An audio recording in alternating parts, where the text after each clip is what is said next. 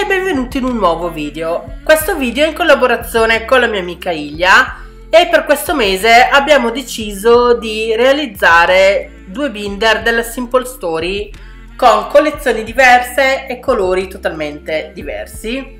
Dato che tutte e due lo dovevamo realizzare abbiamo deciso di farlo come collaborazione, quindi quelle che facciamo tutti i mesi, tanto per fare qualcosa di diverso. Io in questo caso vado a utilizzare la Botanical Vintage, è una collezione che è uscita primavera-estate, che mi era piaciuta moltissimo, avevo comprato tutti i pezzi della collezione per fare diversi lavori, però dopo l'avevo dovuto lasciare un po' da parte perché in estate non ero riuscita ad andarli dietro. E in questo caso io vado ad utilizzare alcune carte del pad 12x12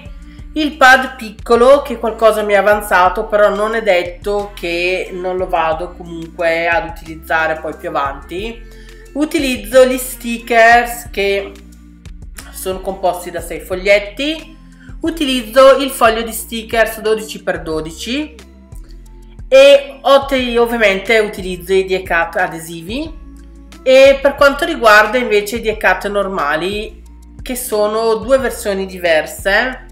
quelli li lascio da parte e li vado ad utilizzare quando finisco magari di inserire le fotografie per ogni viaggio. Perché questo sarà l'album che ho deciso di realizzare appunto per mettere dentro tutti quei ricordi delle gite che facciamo. Ho iniziato subito partendo dal presupposto di fare quest'album perché comunque avevo già delle cose da inserire e quindi devo solo stampare le fotografie e volevo appunto poter mettere via le cose dato che ho il biglietto del museo da una parte e così via. Quindi ho iniziato diciamo la parte creativa da questo punto di vista e in modo comunque da poterlo appunto utilizzare. E man mano che finisco ogni parte vado a completare la decorazione della pagina delle pagine o dei page protector. Quindi voi vedrete delle decorazioni all'inizio molto semplici. Io ho scelto appositamente di non creare la mattatura quindi non creare già una situazione in cui vado a stabilire prima la misura della fotografia che poi vado a inserire appunto perché voglio avere la possibilità di inserire qualsiasi tipo di immagine che mi possa poi interessare Iniziamo dalla parte della copertina. Per fare la copertina io ho scelto di utilizzare una delle carte 12x12 di ritagliarla in modo poi da avere lo spazio sufficiente per poter utilizzare una delle cornici perché il bello di questa collezione ed era quello che mi era piaciuto quando l'avevo vista al Ciane i filmati di Clelia era appunto che avevano introdotto queste bellissime cornici spessorate le cornici hanno vari tipi di misure, vari tipi di formati e sono veramente molto belle. Quindi volevo che comunque ci fosse una cornice, ho scelto di utilizzare una di quelle piccole e alla fine ho deciso per questa perché comunque era quella che stava meglio, riuscivo a usare una parte della carta tra le mie preferite e anche appunto a mettere la cornice. Ho scelto di non mettere la fotografia perché non è che siamo cornici dove sei obbligato a mettere una foto, ho scelto di mettere una frase. E quindi mi, diciamo che ho valutato bene prima che carta usare appunto per riuscire un po' a comporre quello che è la mia idea di copertina. Anche il fatto di queste strisce decorative che mettono all'interno del foglio grande sono veramente molto belle e sono molto comode per la realizzazione e per la rifinitura di questi tipi di binder perché hanno uno stacco netto tra la parte in tessuto e la parte craft che va decorata. Molto spesso anche nei loro progetti perché comunque per ogni collezione loro realizzano dei progetti che possono essere layout possono essere dei binder o qualsiasi altro progetto e quindi ci sono vari modi con cui rifiniscono questa parte, delle volte anche solo con un nastrino. Io adoro quando c'è la possibilità di utilizzare il, questa striscia decorativa, questa comunque sorta di washi tape, perché mi piace molto. Delle volte non è possibile utilizzarlo perché magari è su delle scritte che stonano un po' messe in verticale, quindi un po' dipende. Io dopo solitamente per prassi vado a dividere il contenuto perché questo tipo di binder ha già al suo interno dei page protector con vari formati, ha tre divisori più ha delle pagine quindi tipo dashboard, quindi colorate e altre un po' per fare una sorta di diario se vogliamo comunque scrivere le annotazioni, scrivere dei ricordi, scrivere delle frasi, danno anche questa possibilità. Diciamo che sono album multifunzionali dove un po' possiamo sbizzarrirci. Quindi la Simple Story delle volte dà dei progetti e anche lì non si è obbligati a seguirli e vengono già venduti con il kit compreso, magari anche con l'abbinamento del colore del binder che ha scelto la Simple Story. E anche lì difficilmente io lo seguo, cioè anzi forse non l'ho mai seguito se non il primo che ho fatto estivo dell'anno scorso. Di solito, dato che comunque ormai mi sono abituata, prendo gli elementi che mi interessano di più e li vado a decorare. In questo caso, appunto, come vi ho già detto, lascio, lascio tutto un po' semplice e alla fine andremo comunque a definire meglio tutte le pagine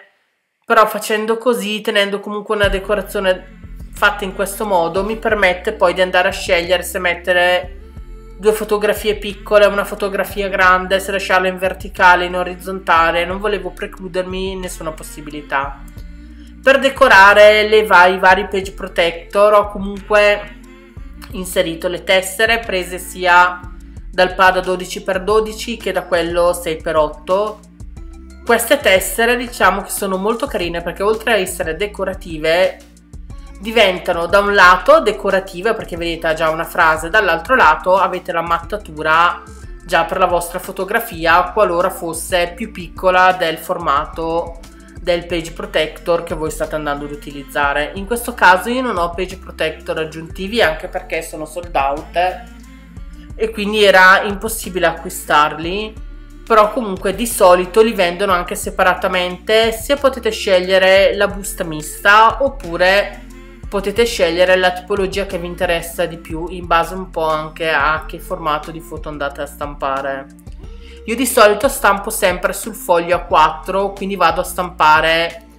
in base all'immagine e alla misura che mi interessa utilizzare. Ci sono alcune immagini che stanno bene anche piccole, altre dove preferisco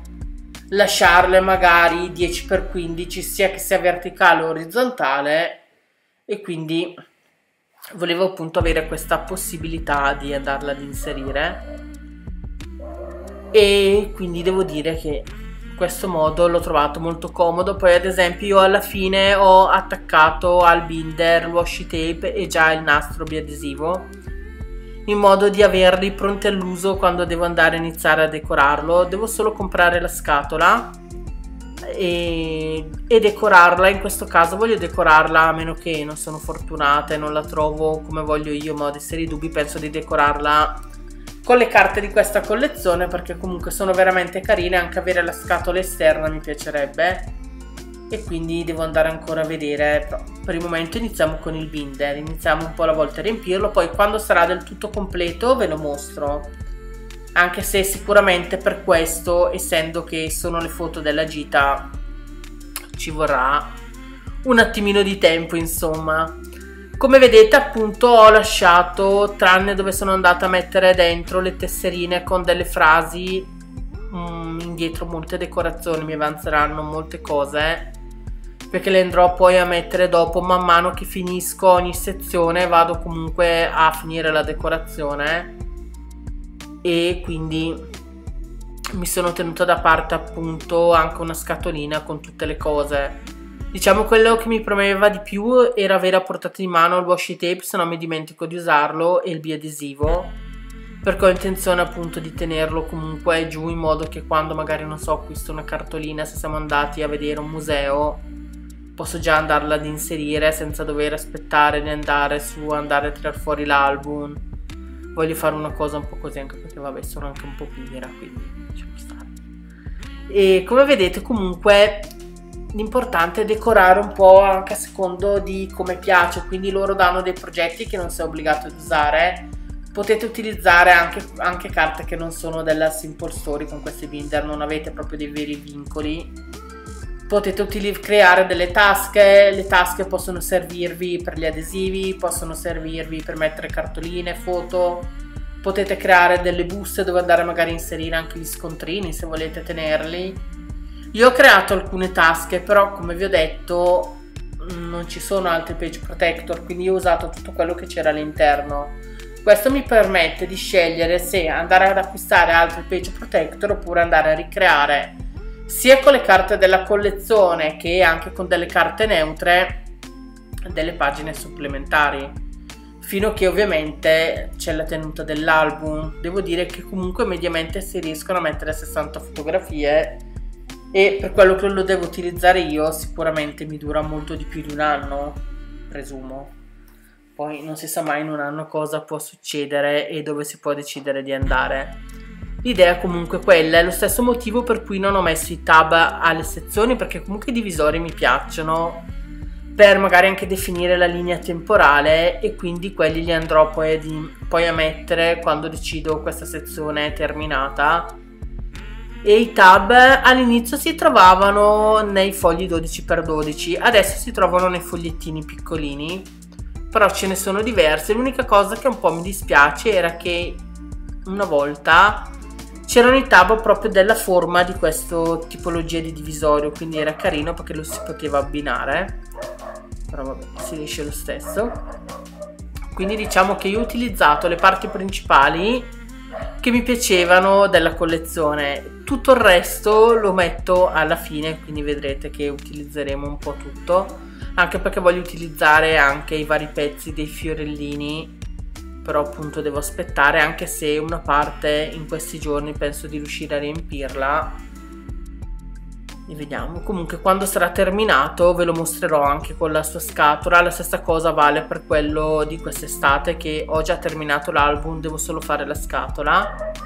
E quello ve lo posso dopo già mostrare perché comunque sono carini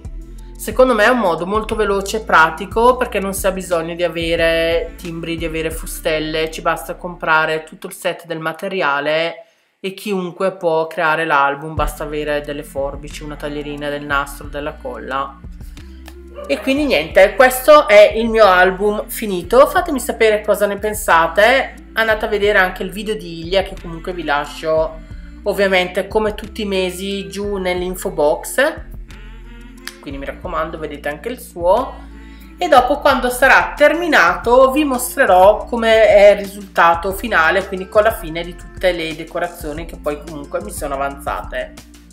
Io vi saluto ciao a tutti e al prossimo video